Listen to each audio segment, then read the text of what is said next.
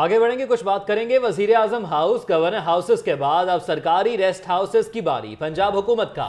तमाम सरकारी rest houses के कमर्शियल इस्तेमाल का फैसला, रेस्ट हाउसेस बड़ी कंपनियों या इदारों को लीज पर देने की तजवीज़, तमाम महकमों से उनके जेर इस्तेमाल रेस्ट हाउसेस की तफसलात तलब कर ली गई। इसी पर बात कर लेते हैं नुमाइंदा लाहौर न्यूज़, लियाकत अंसारी से। लियाकत अंसारी, बताइएगा वज़ीर आज़म हाउस और गवर्नर हाउस के बाद अब रेस्ट हाउसेस की बारी आ गई है।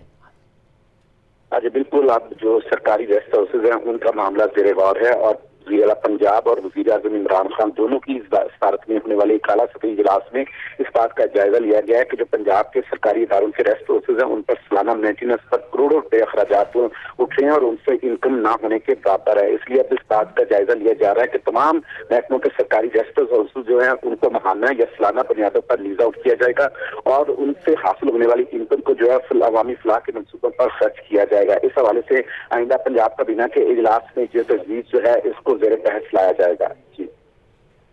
शुक्रिया आपका लियाकत अंसारी तफसलात से आगाह करने के लिए।